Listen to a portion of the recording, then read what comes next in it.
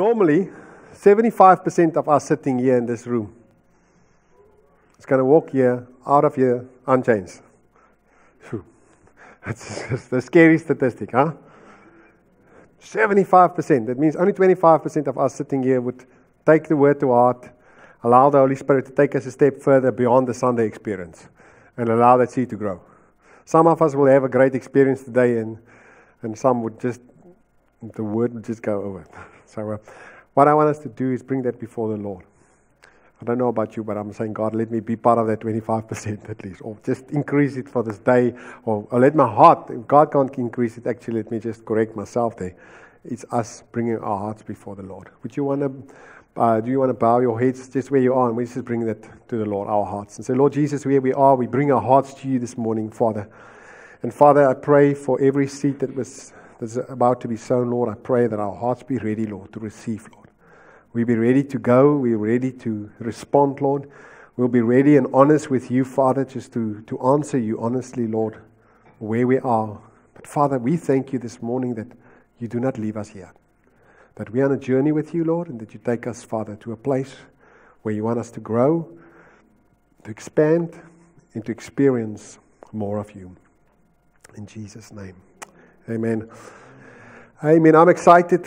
Like I said earlier on in the my, my little one stood at the back there. I don't know they're going to play the clip. The clip was supposed to be for Facebook, but uh, no, they played in church. But anyway, and she walked in here. She said, "But why is Daddy there?" It doesn't make sense because it's there as well. so, anyway, but uh, I'm excited to, to, to, share with you um, the new series, and specifically this morning we're going to share on the power of one. Um, next week, Werner and Ruan probably share on the power of two. Um, so we're building upon that. The week after that, Pastor Carl will be sharing on the power of the unknown, and I'll be sharing again the last one on the power of how Okay, so they're all components of healthy prayer and to, in, to help us to get back or get that into our lives as a, as a discipline. And it's only one of them that we're going to share on. There are so many other disciplines and aspects of our relationship with God. And may the Holy Spirit guide you that He would even go beyond prayer this morning uh, in interpreting.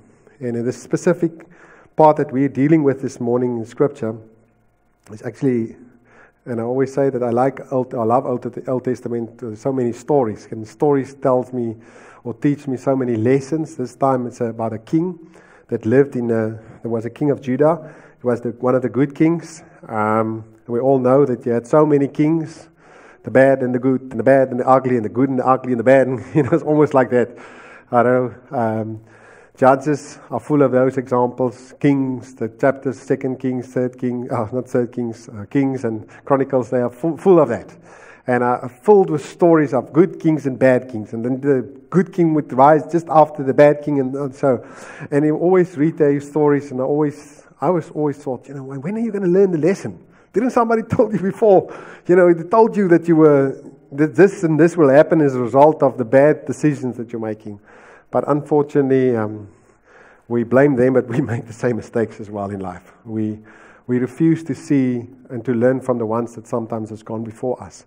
And uh, we sometimes, it's just pride there that we try to follow our own way and then we pay our own school fees. Why do you want to pay the school fees if somebody else already paid the school fees? Learn from them. And if somebody older say to you, don't go down this way, trust that that person has been down this way and, and, and, and uh, that we can learn from them. You know. But in this case, it was a good king. He lived in Israel and uh, he, he reigned from 722, 21 to 686 BC. That was quite a lot of years before Christ came. But um, he reigned in Judah, sorry, not Israel, for about 29 years. Okay, 29 years he reigned there from the age of 25 till about the age of 54 when he died. So he died quite young. Um, he removed the sacred pillars. The Bible actually commends him for his, uh, his commitment to God, his devotion towards God, and it was a good man. He removed sacred pillars. He actually removed the bronze serpent. Interesting story there, that the actual thing that God used as a method or just symbolic became actually a method of worshipping that uh, bronze serpent, and he had to remove that. He refused to pay tribute to the king of Assyria. He defeated the Philistines, all of those kind of things, and he was recorded as a, as a good man that served the Lord faithfully. Until one day when two specific things happened. You know, there's a but in the story, so you have to pay attention when there's a but. Normal man of God, devoted to God, faithfully serving the Lord, and then two things happened that would cause a little bit of a change of history, a change of a story that the story is diverted now. If you watch all these soapies and what?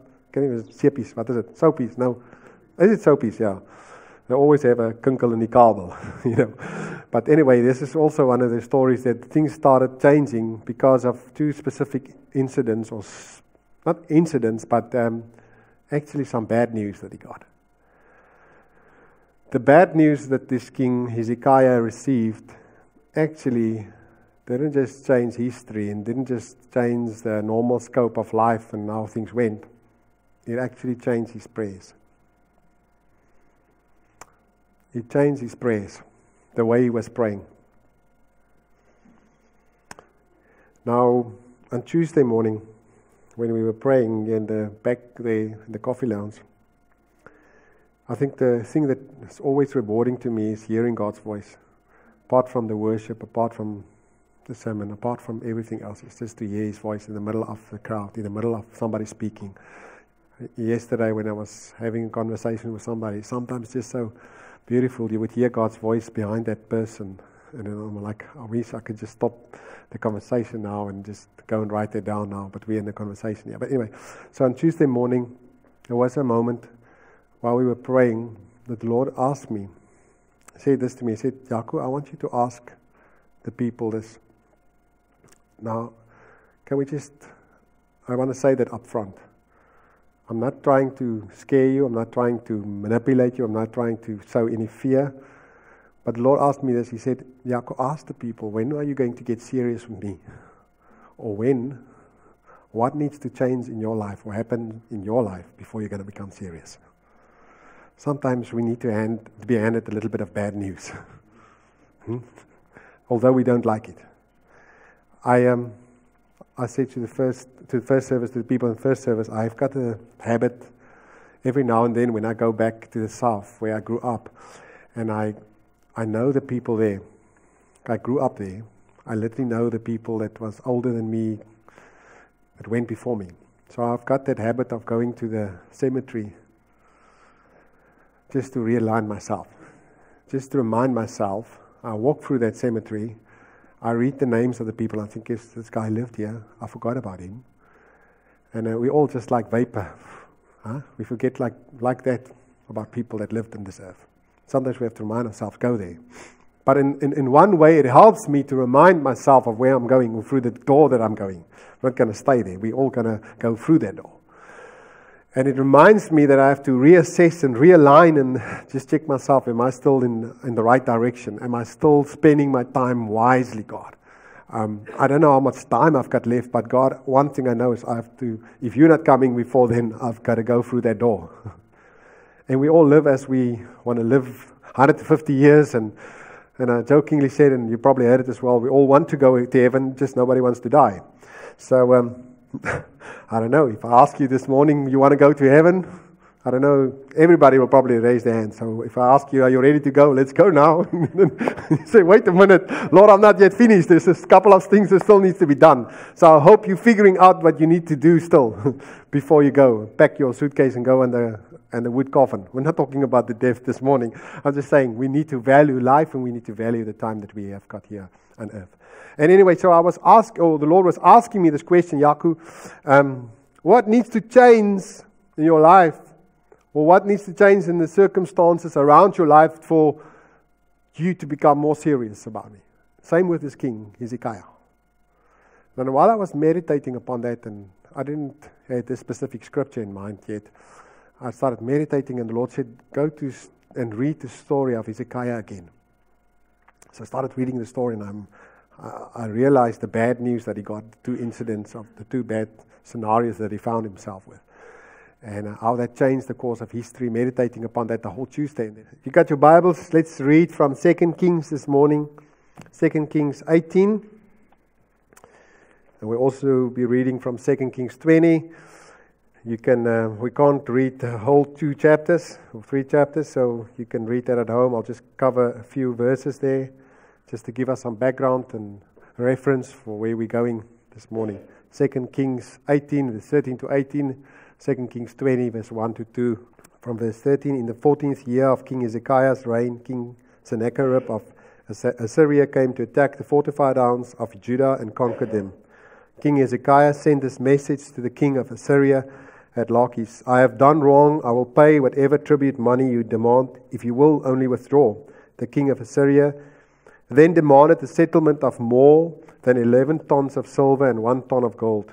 To gather this amount, King Hezekiah used all the silver stored in the temple of the Lord in the palace treasury. Hezekiah even stripped the gold from the doors of the Lord's temple and from the doorposts he had overlaid with gold, and he gave it all to the Assyrian king. Nevertheless, the king of Assyria sent his commanders in chief, his field commander, and his chief of staff from Lachish with a huge army to confront King Hezekiah in Jerusalem. The, Syrian took, the Syrians took up a position beside, beside the aqueduct that feeds water into the upper pool near the road leading to the field where cloves, where clove is washed. They summoned King Hezekiah, but the king sent these officials to meet with him Eliakim, son of Hilkiah, the palace administrator, Shebna, the court secretary, and Joah, son of Asaph, the royal historian. And let's page or turn over to page the following page in my Bible, chapter 20, from verse 1. About that time, and I remember that was the first bad news, the first uh, headline that he received. First SMS, the first WhatsApp, the first phone call that he got, the bad phone call that he got. Now he got another one. About that time in that same time. Hezekiah became deathly ill, and the prophet Isaiah, son of Amos, went to visit him. He gave the king this message This is what the Lord says Set your affairs in order, for you are going to die. You will not recover from this illness. When Hezekiah heard this, he turned his face to the wall and prayed to the Lord. Okay, let's just stop there. I don't think it's nice news to get from somebody. I don't know about you. Somebody get uh, you receive a pro- uh, receive a prophet and he tells you, "Listen, um, I've got good news for you. This is even before you know you're sick, probably you're going to die. You are going to die." And like this uh, pastor just said, um, the deaf has got an amazing ability just to rearrange our priorities. I was talking to Van earlier this week as well, that we sometimes so easily lose track of the bigger picture. But when you are around somebody that's fighting for life, then you realize you know, we really have to check our priorities. And um, I couldn't help to meditate upon the scripture, ask myself, why do we not pray fervently? I mean, it's not that we do not pray, but it's just sometimes that when certain things happen, our prayers change. Do you agree? Do you agree with me that sometimes certain things happen and we pray a little bit more fervently? Huh? We pray, we do our normal prayers. You know, you wake up, you thank you, Lord, and you're good, and we even pray that same mechanical type of prayer at, at dinner as well and lunch. People start, your children start copying you, realize now you've been going into default mode, you know, praying the same thing. You don't even think about that. It's you're reciting certain words. Jesus actually referring to that in, a, in another situation with the Pharisees, vain repetitions. He's saying, Do not bring me vain repetitions. Because there's there's, an, there's a danger for us here as child of God. Listen to me. As child of God, there's a danger that we can go into default mode. That we do this too much, that we go in default mode. That we know all the, okay, you must do it now. You must say amen. You must say hallelujah. We pray it this way. You just hang around this crowd long enough. you you're standing or you're at, at a place where you can go over into default mode. There's a danger, there's a real danger that we can t- start praying mechanical type of prayers where we just go through the motions, come through another Sunday, just sit here, great Sunday, God, we go home, same thing. And then before long, we're not in love with God anymore. We just, we enjoy this. We don't deny God. But somewhere we're just drifting. And I had to ask myself the question, Lord, why is it that sometimes we don't pray that fervently? or seriously. Because it shows in our stats, and I'll come back to that. If I look at the scripture here, And I believe God wants to say something to us here. There are two reasons why we find our strength, or why we do not pray that serious or that fervently. And first of all, we find our strength elsewhere. If you would know that the only reason to your survival is prayer, you'll spend time there. But often, we've got interest at other places as well. I find my strength in other stuff. That's why I don't pray. King Hezekiah was faced with the bad news. The king and the army surrounding his town. They were literally surrounding him. They cut off the water supply. Jokingly said to Norbert, that is, uh, he had a situation like that almost, when you've got no water. Imagine that for a moment. People coming in from other side of the town, and we heard about the enemy maybe from the sea. They said, surround Swakopmund. Nobody can go out. And initially, we're okay. Now I've got food. Then they cut off the water supply. You can't buy food.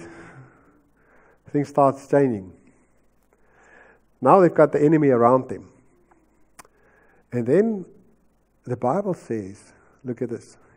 The enemy demanded him to compromise, asked him some gold. 11 tons of silver and I think one ton of gold. He didn't have enough. And then he did something I believed totally wrong. He compromised by taking the silver and gold of the temple. It takes a man of faith. You hear me this morning. When the enemy is knocking at your door, threatening to take, it takes a man of faith not to touch that which is sacred in our finances. That's the quickest place we run to. Let me just take, oh, Lord, I'll give you this. Rather, you just have to be satisfied now. Okay, I will take from this. And, and you know what the amazing thing is if you read that story? Where the enemy, was he satisfied?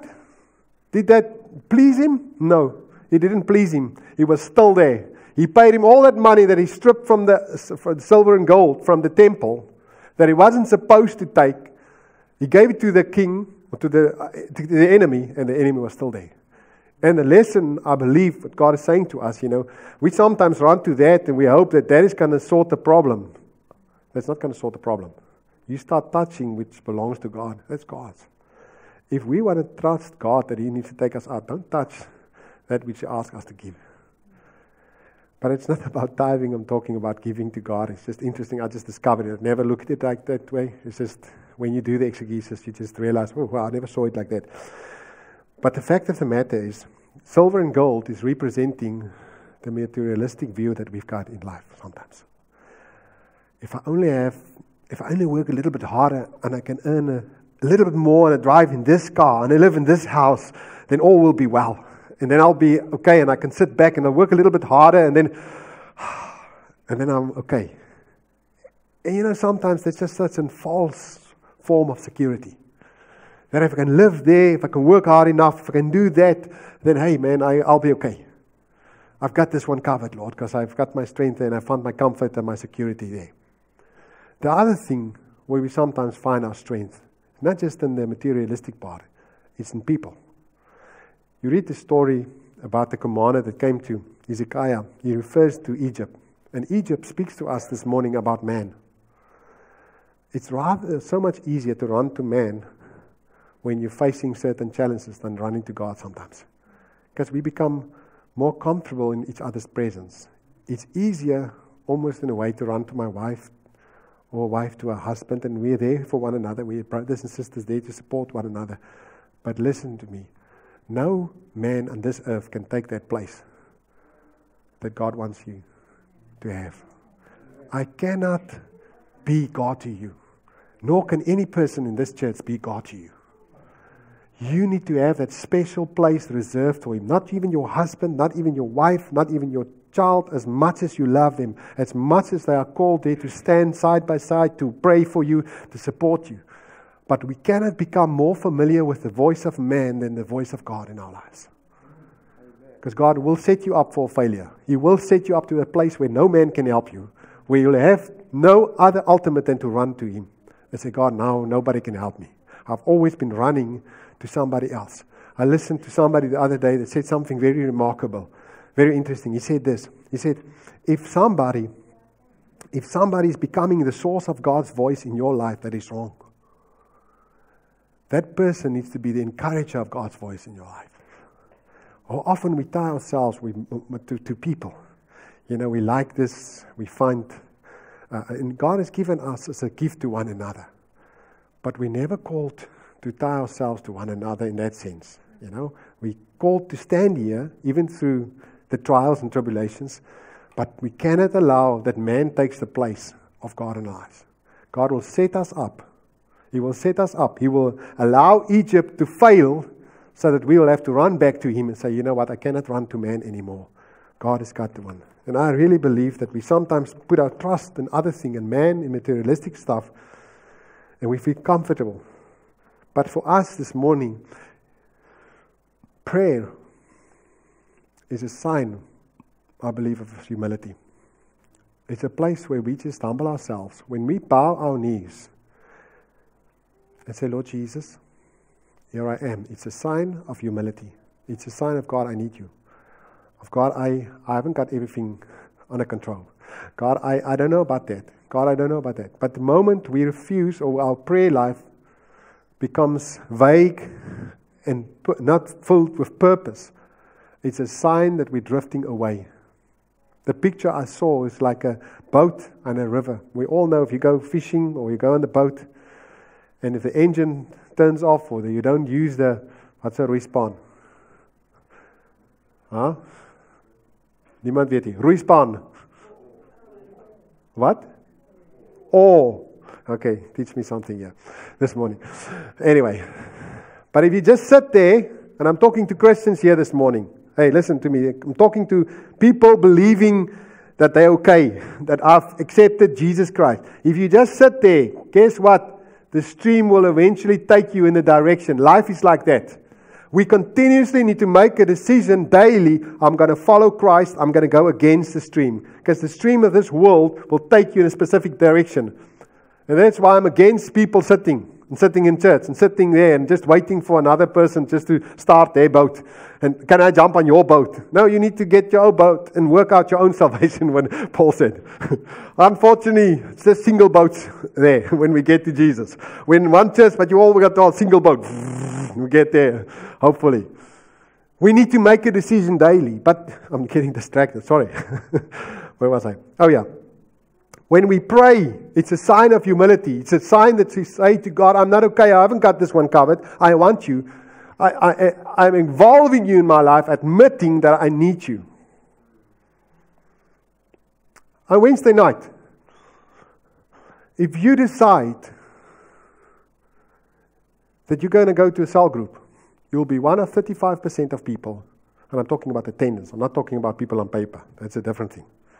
An average that regularly cut out time during a week to say, Lord Jesus, I need to take my relationship further than just beyond the Sunday experience. The rest say they don't have time. On Tuesday morning, on Wednesday, if you decide, you know, Lord, I want to pray for this congregation, you'll be less than 10% of this congregation, part of the less of the 10% of this congregation doing that. The reason why I'm saying that is, as I was meditating upon that week, and I was uh, this week, I was just thanking God that there are people that are willing to pray for others. And I want you to, I'm saying that slowly and carefully so that it can sink in. Thank God that there are people this past week that prayed for you, that took out time, that said, Lord, this is not, this is not too much of an effort.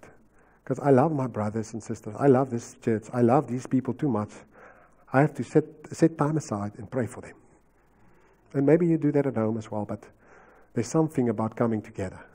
There's something about what I've received this past week and Tuesday morning, hearing God's voice, which I would have not received, I believe, if it was just back there at home.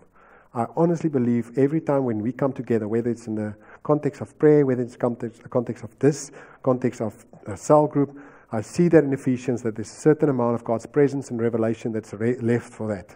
For those that want to watch TV, that they don't get it. that God humbles us to that place. But here's the thing God wants to bring us to that place, to face that, to make that decision. Say, Lord, this is, this is important. This is priority to me. The other thing I see in Hezekiah's life this morning about why we're not praying is that Hezekiah received the death notice, huh? death sentence, or the bad news. Now, I don't know about you. Maybe somebody has asked you, me, me personally, many times before. People say to you, Oh, please pray for me. And uh, sometimes you get these requests from people you don't even really know. You know, just pray. And the real danger is there that that person is so far removed from me, I don't even pray. Let's be honest. I probably think about that person. Oh, Lord, yeah, bless. And but here's the thing when that person becomes closer, when that news is a little bit closer to you, my attitude towards my prayer changed suddenly. The other night, on the Friday night, I get this call from Annalure and I heard that her voice that she's not well, that she's worried. And she shared the news about Daryl and they had to run to the hospital.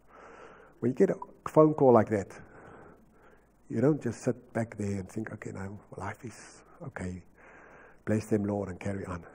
When you love people, when it's a little bit closer to home, you get news like that. It does change your prayers. Maybe, just maybe, the bad news sometimes are just too far away from us. Maybe we're just not that much related. And as much as it applies to the natural, it applies to us in the spiritual this morning as well. How about my neighbor across the street there? If he knows Jesus, I don't know. Maybe I know and I can see in his lifestyle from what I see, from the fruit I preserve, uh, perceive and observe, that it doesn't look good. The chances are good. It's not for me to judge, but based upon what I see, based upon the fruit that I see, because that's what we can judge, uh, that he might probably go to hell. Does it bother me? How much time do I spend in prayer, bringing that before God? The Bible said that Hezekiah, the moment he touched his body, when he touched him, he touched him, he wept before the Lord. And I couldn't help but wonder how many of us have lately wept before the Lord for the lost, for his children the closer I get to Him, the more I fall in love with His people. We cannot sit in this place this morning and you tell me that you are in love with God, but you don't have a compassion and a passion and a zeal and an unction to share the gospel or to get it out there for somebody that's totally lost. We are just deceived. We sit here this morning having great moments, great songs, great prayers, telling ourselves that we're okay, telling ourselves that we grow closer to God, but we don't grow closer to His people. It's just so far removed from us. There's hope this morning. Amen. Say amen with me. There's hope, huh? For us. Let's turn, let's turn the tide and let's see what Hezekiah is teaching us this morning if one man can pray. Basically, what we just saw is that, you know, why do we not pray? We find our trust elsewhere, and the problem or the problem or the issue is just not so close to me. That's just the truth. Other day, when we got the news about Yaku, same thing people that we love, people that we walk with, people that we spend time with. Our hearts get connected. We get to know one another. I tell you what, there are many more such people in this church. When you get that news, you love that people so much that you bring that before the Lord because I love that person. I don't want to see that the enemy steals there. So I'll stand in faith for God because I love that people. And it's a great sign this morning of how much we love God's people, how much and to what, de- to what depth we are allowing God to take us in that. If that is an if we are just listening, hearing that news, and we couldn't care less, it's just showing us that we're not in love with God this morning. But the story of Hezekiah teaches us, us, or teaches us this morning that if one man, listen, if one man can earnestly pray and seek God in prayer, three things can happen, which I see in his story. 2 Kings 19. Turn with me to that chapter, 2 Kings 19. I'll just quickly read that for reference. Verse 14, it says, After Hezekiah received the letter from the messengers and read it, he went up to the Lord's temple and spread it out before the Lord. And Hezekiah prayed this prayer before the Lord O Lord, God of Israel, you are enthroned between the mighty cherub, cherubim. You alone are God of all the kingdoms of the earth. You alone created the heavens and the earth. Bend down, O Lord, and listen. Open your eyes, O Lord, and see. Listen to Sennacherib, Sennacherib's words of defiance against the living God. Man, what a kind of prayer. Uh, almost fighting with God. God, listen, open up your eyes, see this. And then look at verse 34 that he's saying, and God's answering. He says, For my own honor and for the sake of my servant David, I will defend the city and protect it. And now you need to pay attention. The story is getting, uh, this is the highlight of the story. I love this. And if you were, as a young man, when I heard this, it was so, wow. That night, the angel of the Lord went out to the Assyrian camp and killed Hey, look at your Bibles. 185,000 Assyrian soldiers. When the surviving Assyrians woke up the next morning, they found corpses everywhere. That's the kind of God I serve. That you go to bed, that Hezekiah would go to bed, pray, earnestly seeking God, go to bed, and at night when he goes to bed, God goes to work. Uh, huh? He wakes up. Imagine that.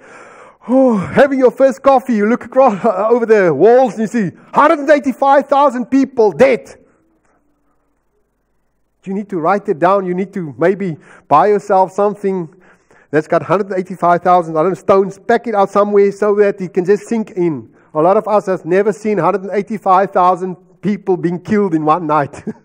Not me, at least. Or 185,000 people in front of you. That miracle that took place was such an astounding miracle because one man humbled himself, seek God earnestly in prayer, and bang, God intervened.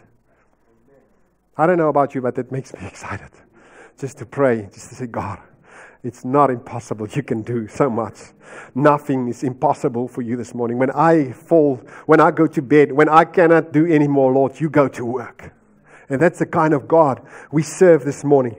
If we can just humble ourselves, we can just get ourselves to that, we'll realize there's so much things that God can do. Imagine if this church, imagine if more of us can get ourselves to pray, what will happen to this town that God will have to hear, will have to answer those prayers. If we see God earnestly, I'm not talking about, oh God, just save them. That when we cry out before God, when our hearts, when we bring our hearts before God and say, God, my heart is for the lost. God, start, smite my heart, work in my heart, change that. If it's not that, God, I'm bringing that before you. Uh, I, I, tell you what, we cannot fool God. We cannot fool God. You can sit here this morning and tell me your heart is for the lost. You can't fool God. God would know that. We, we know. Yes, listen to the thing. If we sit here long enough, long enough, we know what to say. We say that from the head. We say, My heart is for the lost, but in our heart, our actions and our fruit follows from the heart. That's what the Bible says. And I'm bringing myself before the Lord again. There are people sitting here this morning, and you're not in love with God anymore. And it shows in your fruit. You're still with God. You're still coming to the same old things. You're still doing the same old things. You're in the rituals, doing all of that, but you're just not in love with Him anymore. Hezekiah. Sorry, let me say this before I. You see, the enemy, the enemy handed him a letter.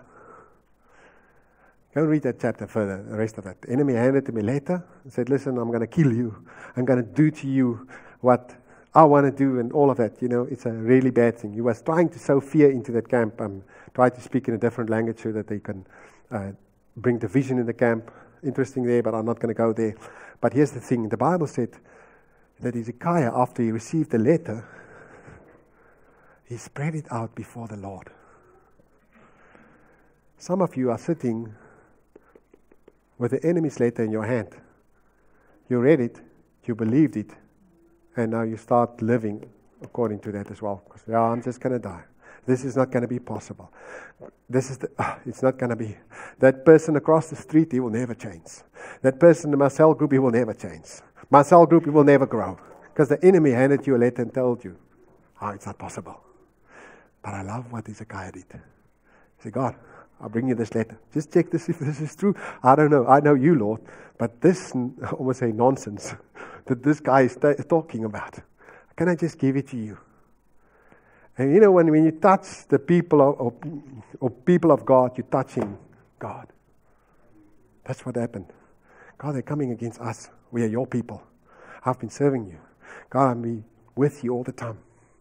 And God got to work at night because one man spread the letter before God. I'm asking you, maybe it's time that you take that letter to God. The letter of that person across the street, of the enemy that's telling you, never, don't go there, you'll never be able. Your boss, whatever message you've received from the enemy. Not only this morning did we see amazing God that's coming through, or the amazing miracles that's taking place when one man is take, uh, when one man is praying. But apart from that, I believe there's something else that we can learn this morning from Hezekiah's life. You so, see, when Hezekiah got the bad news, up to that time, I believe he's experienced a certain part of God up to that stage, who God is. And now God allows him to be set up for an increase of revelation. Hezekiah, I believe, in two places, two attributes of God. He, he's never seen God in that way before until those moments, until those moments of bad news. The first one, deliverer. Second one, healer. You can sit here this morning. You can tell me, I know God is healer. But if you haven't faced Him, you haven't been in a situation where it's touching almost your body, where it's touching somebody that you love, that you are close, but you have got a closer relationship, you would not know Him as healer. Sometimes God allows us, or the odds to come against us, so that our revelation our expa- can be expanded, so that we can pray and pray and see God, and God can come through, and we're never the same again. Amen. He wants to stretch our faith. He wants to stretch your faith. It's exciting, but it's not always lekker, huh? It's not always going going through that or being set up. It's not we God get me out of this, get me out, get me out. And I remember Pastor Peter Pretorius a couple of years ago in, in, in they involved in JAM ministries all across Africa, feeding children daily. They, their vision, I've told you before as well, that they were feeding back then almost a million children in Africa a day with the um, food, one meal a day. But anyway, he was sharing that they were in a, somewhere up in Africa, praying for a, a specific conference, praying for children and people. And people were coming forward for healing and all of that. And he said this, you know, it's something when you start praying for people for all kinds of things. And I don't know about you, but when you pray for somebody for sight, it's okay if you, the person is blind and he's got eyes. But it's a different thing. Listen to me, it's a different thing when that person hasn't got any eyes. And a little girl came and stand in front of him, no balls, eyeballs in the sockets. And the Lord challenged him to pray for sight for that girl. No, I don't know about you. I would run God, I don't know what to say, Lord. And he said he started praying for that young girl. And then as he was standing there, the eyeballs literally grew in front of him. And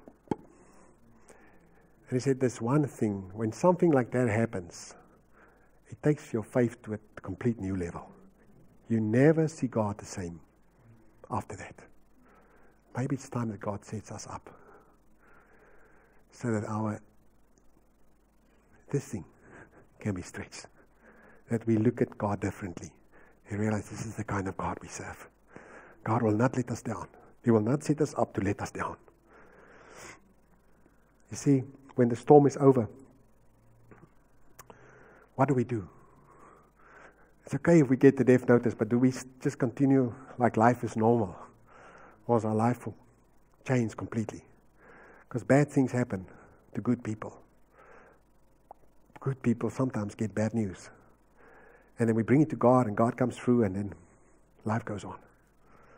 The other day, we had a family. They're not with us, they visit occasionally, but they're not here members. And and they had a bad situation of extended family or family in family in their family that had a difficult situation that happened. I can't share the detail to protect their identity, but the fact is they had a tough situation where something bad happened and it affected them as well, almost in sickness and death. Anyway, and they were here totally vulnerable, crying before God, broken one of our leaders even went to pray with them during the service, and I thought, God here's a God moment. Even the, the bad news that happens, God, you, you can redeem. Do you know how long that, that conviction lasted? One week. Back to normal. Help us. Lord, help us that we not become so insensitive. What must God do to really get our attention? I'm not trying to sow fear here. Sometimes we're just so out there, so in our own ways, own world, own direction, that we don't even see the stop signs. We don't see any form of God trying to communicate with us. So, can I get your attention? Just take your eyes off this world and get it onto my world, onto my page, onto my agenda, where I want you to be. 2 Kings 19, verse 19, we see that in this story. Verse 19, that after Hezekiah received the bad news about his, um, his death, and God healed him miraculously after he prayed, that the king of Babylon came to visit Hezekiah. Said, "Listen, I heard about, I heard about your um, that you were sick and that you I heard that you were supposed to die and you're alive now. Can I just see you?" And, and the message I'm trying, or I believe God is trying to say to us here is that when we pray, when we seek God, and God comes through, our prayers and the answers to our prayers become testimonies to the world out there. That people out there that's not serving God, that's probably denying God, they don't have a chance to, or they cannot deny that there's a living God. Maybe it's time that we pray more fervently so that God can get at work, get to work. And the world will see that our God is alive. Amen. I'll end with a story of a guy called Evan Roberts. Evan Roberts was a young guy from Wales, Welsh guy, born in Wales in 1878. 1878, sorry. Born into a family, Christian family, into a house where they served the Lord faithfully, wholeheartedly. And as a result of that, he formed a strong character. Evan started memorizing scripture. And uh, as he was memorizing scripture, he started meditating upon that. And, um, and the Lord started moving in his life, and he started loving the Lord. and started spending time with the Lord more and more. And it's often been told that even at night, when, when the family would call him to dinner, he would miss dinner time because he's just in the presence of God. And at the age of 13 years old, Evan had his first encounter with God. And that became one of his famous sayings when he said, Lord, what can I do for you? Lord Jesus, what can I do for you? How beautiful is that, eh? Jesus, you've done so much for me. Do you know a lot of people don't even ask that question? Or they don't bother getting to that place of, Lord, what can I do for you? But anyway, Evan continued following and he served Lord and, and some became some started calling him the lunatic, the spiritual lunatic, because he was just so out out there. When other young kids started dating and becoming interested in all those kind of things, Evan was in the Word. Evan was pursuing God, growing in his relationship, especially with the Holy Spirit, an intimate relationship with the Holy Spirit, interceding, crying out for Wales, seeking God. And one night in a service, he had these specific words. He said, I have reached out my hand and touched the flame. I'm burning and waiting for a sign. Beautiful. At 20 years old, when he was serving and he was at church and he started preaching and started going deeper and deeper, the revival started breaking out. And I want to say this for all of us here this morning. Before revival comes into this place, into this town, into this nation, it must come in our hearts first. We cannot hope that revival will come out there and God will do a miracle and touch our president, and touch the people out there if we are not in love. Because basically, pay attention, basically, revival is just God, stir up my love for you again. When all of us in this room, is the alarm, eh? when all of us in this room fall in love with Jesus once again, the whole church, then the revival breaks out. But the sadness, sad thing is some are in love, some are not. But that's revival. When we fall in love with Jesus again, nothing is too much. We do have time for things that's priority. But the story goes on, and, and anyway, so what happened is revival broke out, and, and one night, Evan saw a, a, a, mess, a, a vision of a hand that's stretching out from the moon to Wales. And God started moving among the people of Wales. And Evan was preaching for 100,000 people, or was praying, sorry, was praying for 100,000 souls to be saved in Wales. And God started moving in Wales. mightily. Amazing thing is that, that theaters had to close down. Political meetings had to be cancelled. Soccer players were not at the stadiums. There were no fans at the stadiums. Bars, movie houses had to close down because there were no interest in that. They say that the local Bibles or the shops ran out of Bibles because people ran just to get a Bible. Nowadays, we just struggle to get people to bring their Bible to church. I'm not saying that just because people, they treasure God's Word. I think sometimes we have to lose a little bit to realize what we have. But anyway, it carried on and on, and the amazing work of God. But the, which I found interesting thing that happened is when he was working in those coal mines amongst those people, um, God started touching those mine workers. And it's almost like a lot of uh. You know, they swear a lot. And what happened is what history tells us that those horses that they were using for the carts to drive, take that out, those horses only responded to, to swear words, to curse words, and all words of profanity. And when the people got saved, and the men got saved in the mines, and they stopped talking like that, they had to retrain the horses because the horses couldn't respond to the previous or to the new commands. Amazing what God can do, huh? Overnight. I just find it funny in a way. That's the kind of God we serve. But the Wales or the Wales revival was found upon these four points. Listen, it was upon this thing confess all known sin. And if I can say something here, that's where we're always going to start. If we want to go ahead, we need to get to that place of repentance first. Jesus, I'm sorry. Jesus, I've missed you.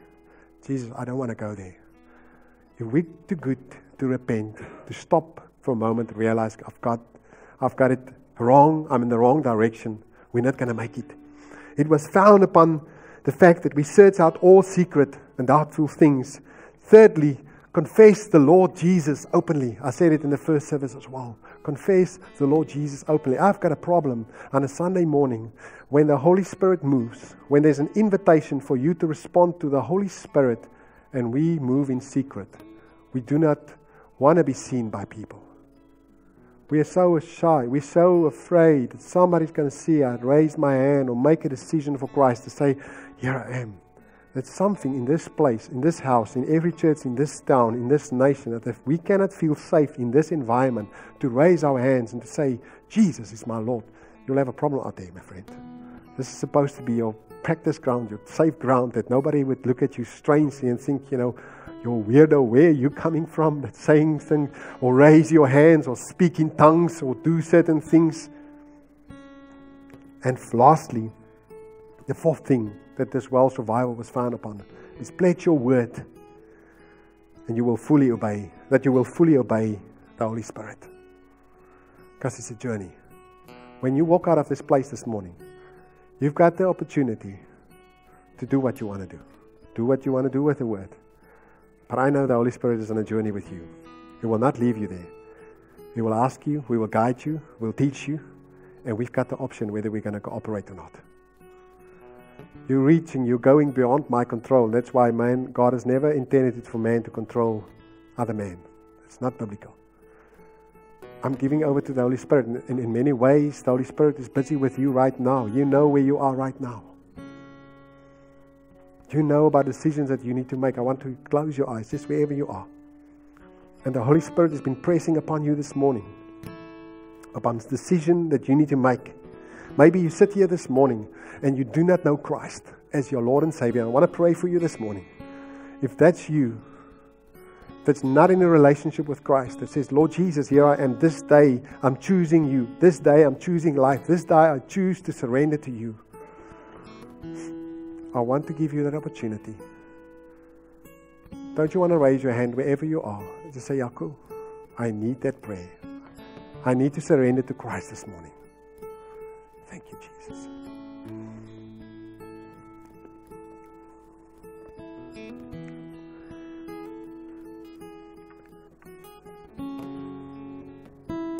Got one more prayer that I want to pray. I assume then every one of us are in relationship with Christ this morning, and that's fine.